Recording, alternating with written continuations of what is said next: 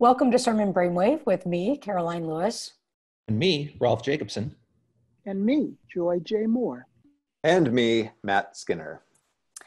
The text for the eighth Sunday after Pentecost, which falls on July 26, 2020, are 1 Kings chapter 3, 5 through 12. Our semi continuous Old Testament reading is Genesis 29, 15 through 28.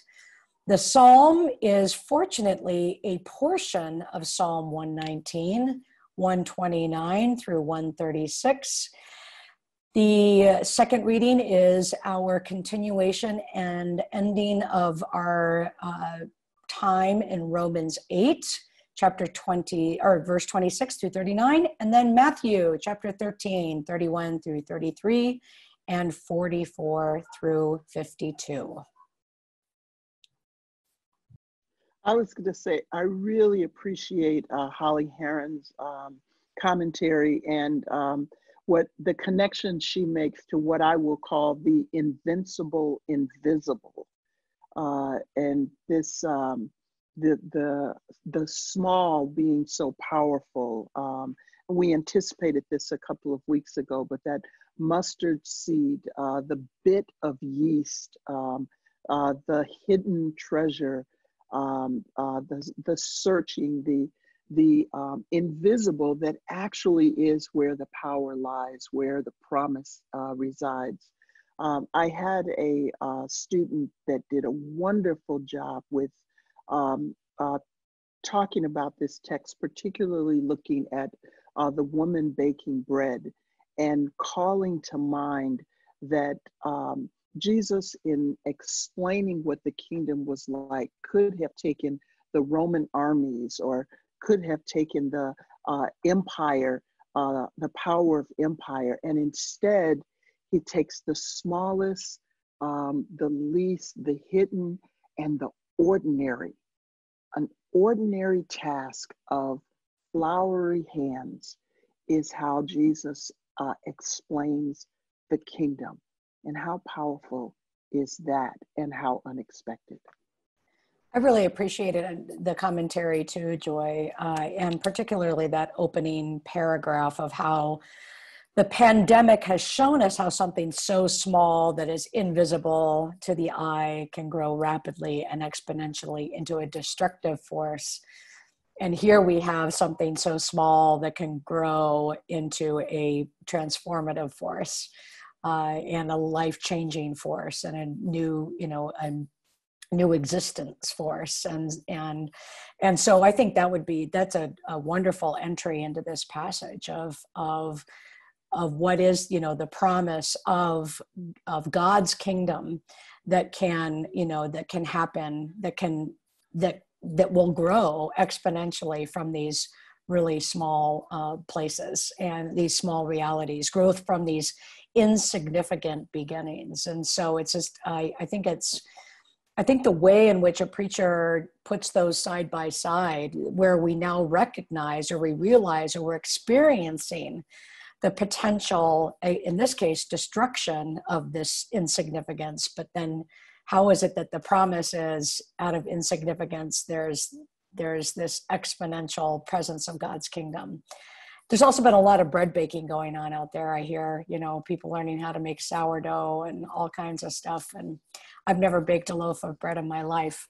I haven't started that. It was not on my COVID list of things to do but uh, yeah, I think I think that I think that would be a really uh, one really uh, meaningful entry into this text.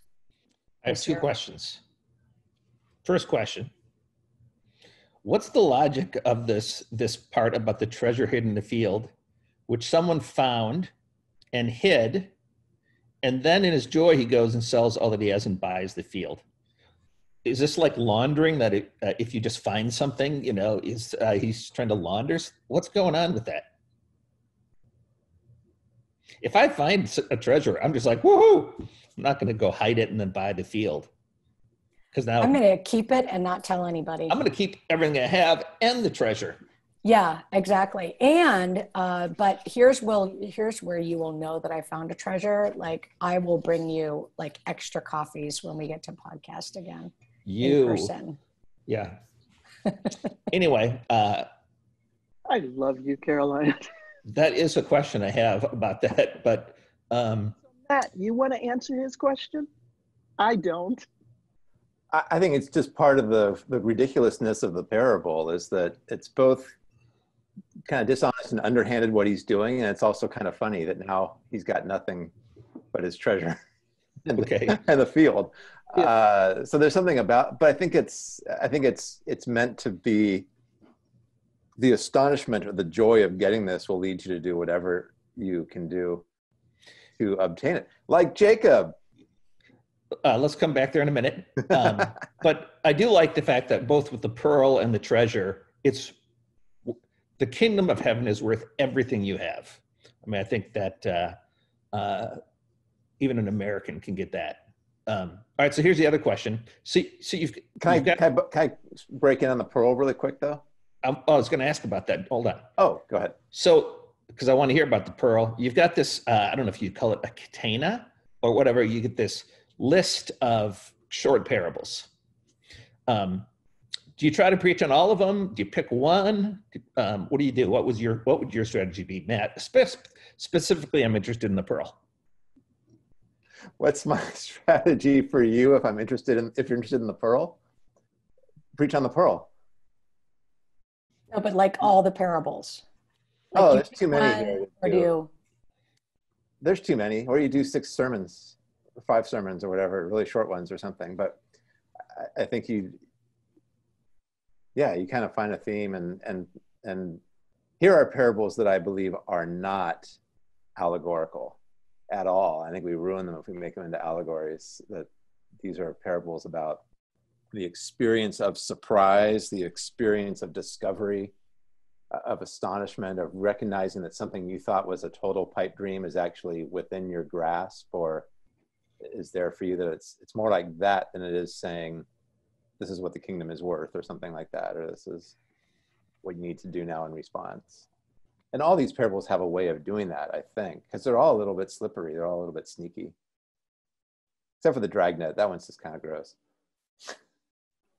But maybe it's it's uh, maybe one way to think about it is an an invitation for our listeners to uh, to give witness to or to remember or to think about those places and spaces where there that that insignificance or those modest beginnings uh, turn into something that you could never have imagined. And i I, I think, uh, or even like a wider perspective on this with regard to the ways in which, uh, the ways in which the church has had to reimagine what church is in the last couple of months of of uh, uh, that that you you know here's a church that's uh, not the one down the road that has all of the media equipment and and all the special lights and everything but they do their service for their people. And yet and yet uh, and yet people are watching all, all oh you've got to see my pastor preach or you know and th- there's a way in which this is happening right now. Uh, there, there's a way in which the kingdom of god is is is spreading in ways that we just never imagined. And and if you think about the responses of of the death of George Floyd, the way in which the justice of the kingdom moved out of you know where I live, South Minneapolis, to through the the entirety of the world, and so there's a there's a promise in that that that's what that's what the king that's the nature of the kingdom.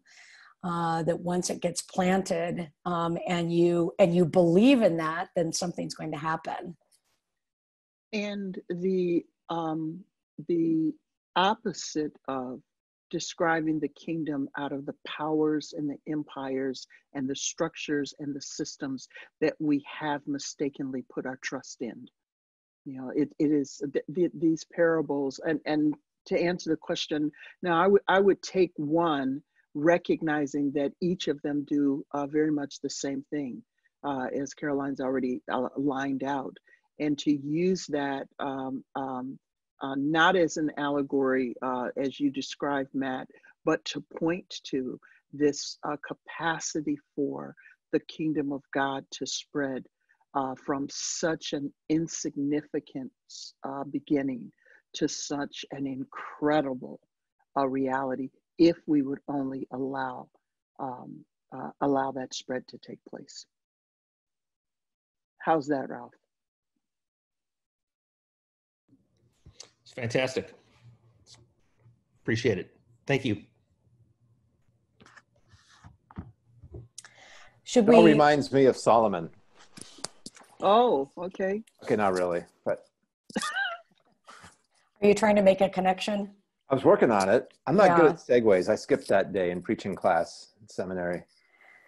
Well, I here was here is the connection I made. I don't know if I made this connection three years ago, but this is the connection I made this time around. Is that you know that prayer for, uh, and I you know I think the um, the the you know the commentary uh, talks about this some too, but uh, but that this prayer for a wise and discerning mind, uh, that that the you know even i mean that there is still there still needs to be that uh to be able to like you said joy where where do we look for the kingdom? Where where do we look for the the the work of the kingdom? Are we trapped in certain system and in, in a system that sees it you know in certain manifestations of power uh, or certain uh, you know certain um, societal constructions of of kingdom and power and such?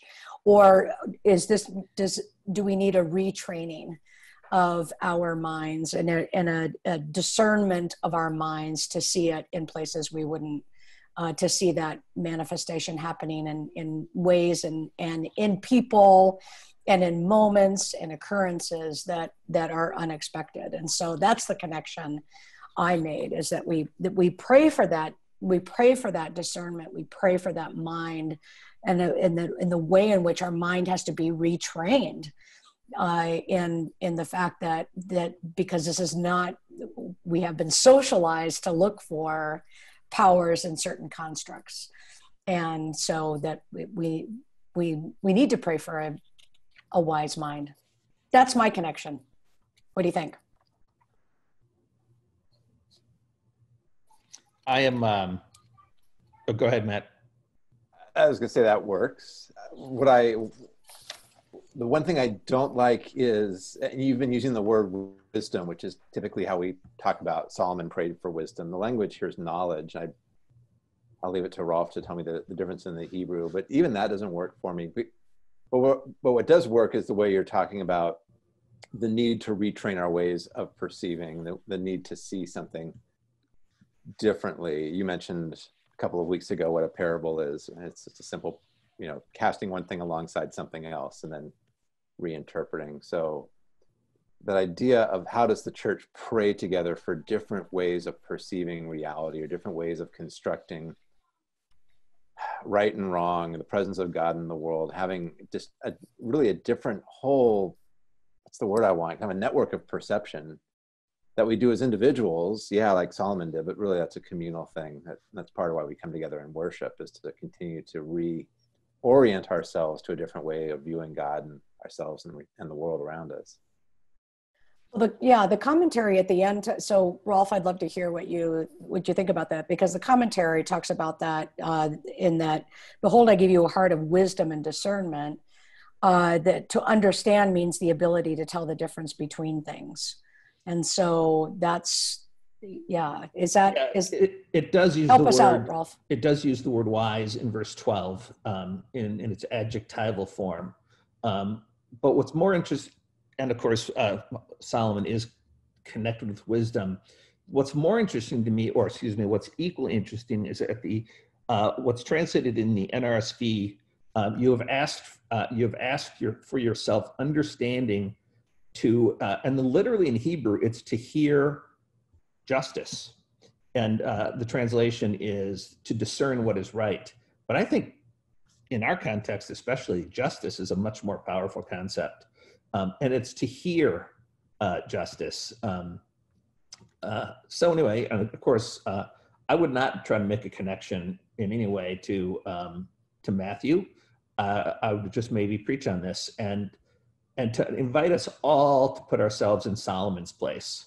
Um, and I would and I would make a connection back to Genesis three, where um, the man and the woman um, gain the ability to understand right or wrong, but having that ability does not give us the um, um, a, knowing right from wrong is not the same as being able to choose right over wrong. That's the human condition. Is I sometimes I know right from wrong, and I do wrong anyway, just because I want to uh, or I know what's right and I can't bring myself to do it, or I'm not able to achieve it. I mean that that, uh, but all of us can be put in Solomon's place, um, sort of uh, with the sort of priesthood of all believers notion is that uh, we shouldn't leave it just to the rulers. Their job is to do justice or hear justice. Uh, it's each of our jobs to do it together.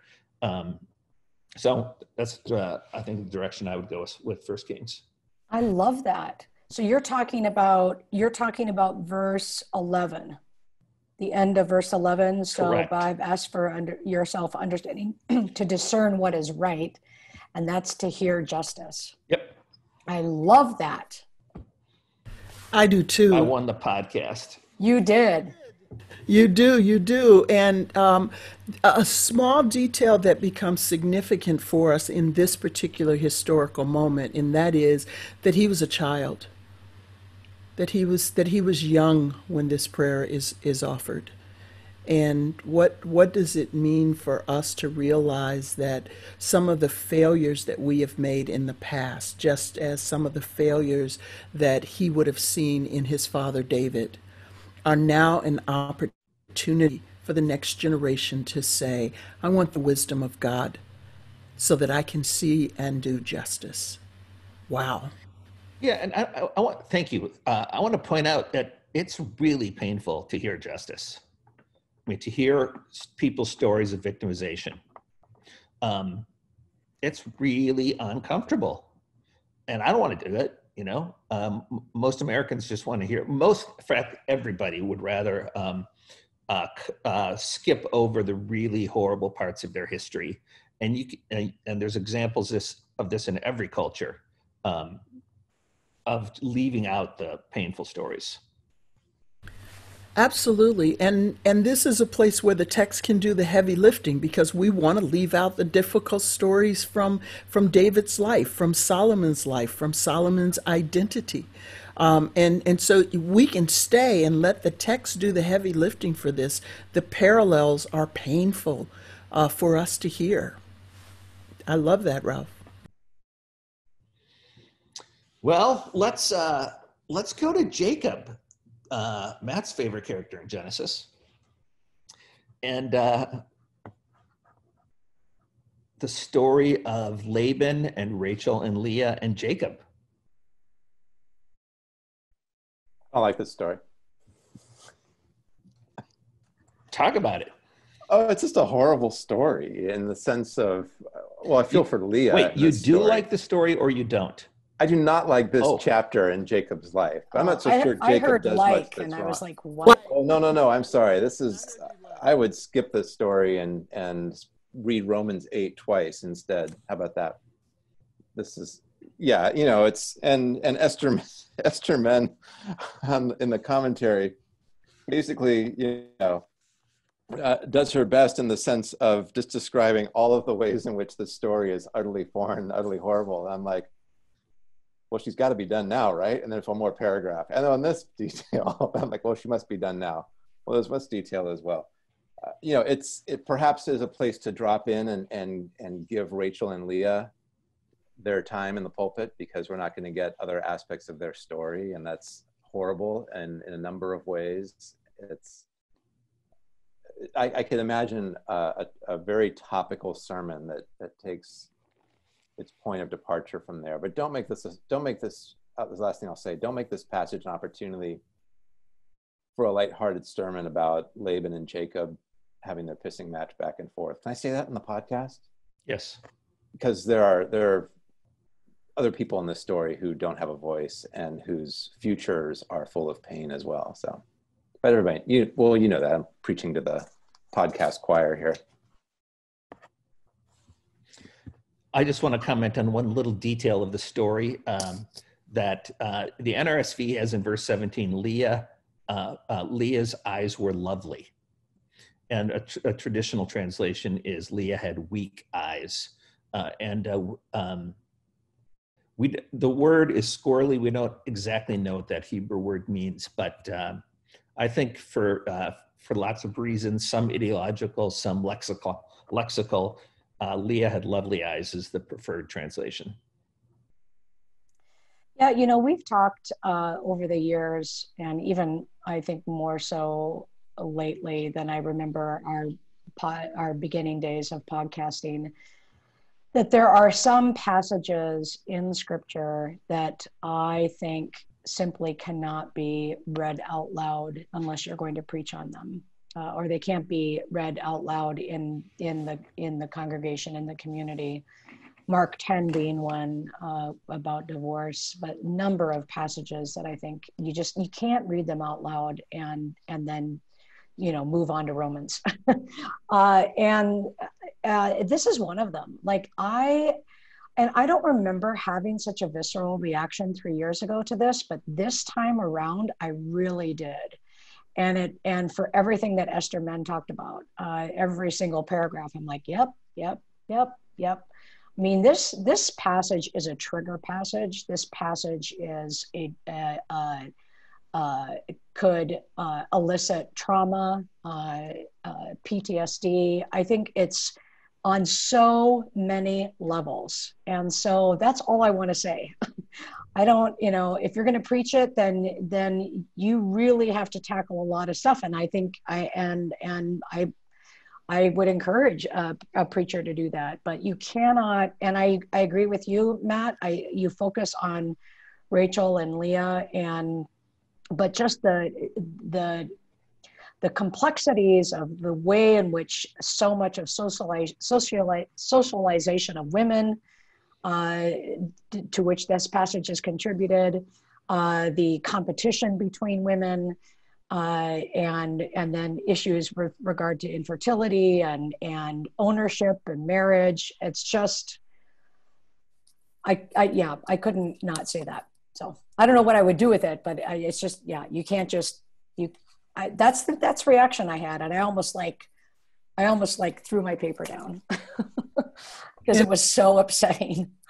And it becomes even more so after folks have been quarantined living at home, maybe in the midst of this reality. And and mm-hmm. so I just want to weigh in in agreement with what's been said. Uh, I really appreciate it, uh, the commentary, and to acknowledge that if you, like you said, Karoline, if you're going to read this, then you have got to tackle those issues because they will be as much to the surface uh, from the uh, private individual lives as the public protests that we've been, uh, you know, pointing to.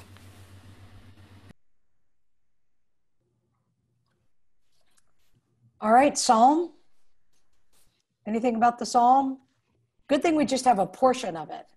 Yeah, Psalm, uh, uh, Psalm. Because uh, Psalm 119 is the longest Psalm. Yeah, I didn't even. Ever. I didn't even uh, look up the Hebrew to find out which al- letter of the alphabet this is um, in the Hebrew. Um, it might be, uh, I, I, could find out, in, uh, but I'm not going to because it's easy to find out.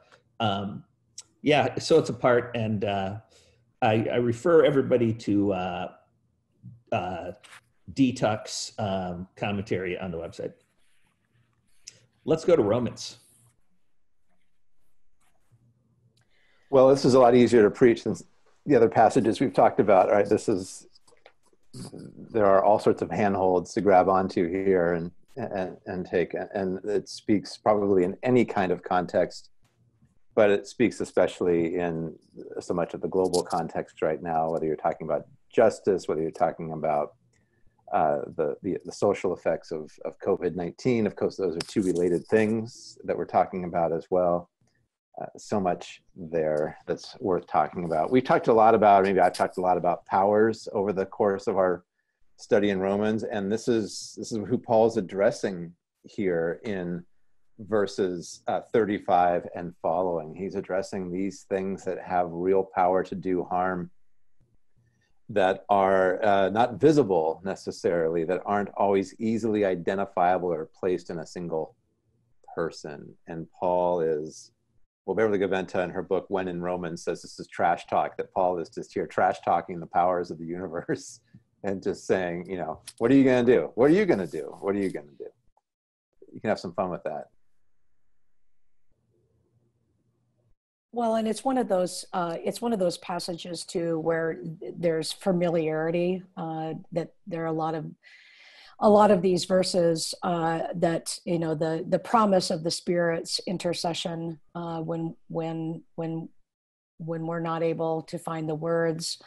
Uh, the uh, you know particularly the last uh, those last two verses of that nothing can separate us from the love of God and in Christ Jesus our Lord. And um, and I think that that's uh, I think those words are going to be heard very differently this year uh, with the kind of um, the realities of death and destruction that that we've that we've lived in and uh, that and so uh, yeah it's just it's it's it's a it's a beautiful passage and it's it's one where you know it's it's like it, it's it's one of those uh, opportunities, those homiletical opportunities where you get verses like this that are usually on plaques or on a bookmark or something, and you get to put it back into its context and say, how do we how do we hear it now in this context, but also in the context of Paul and the promises of of Romans that uh, would be worth a sermon.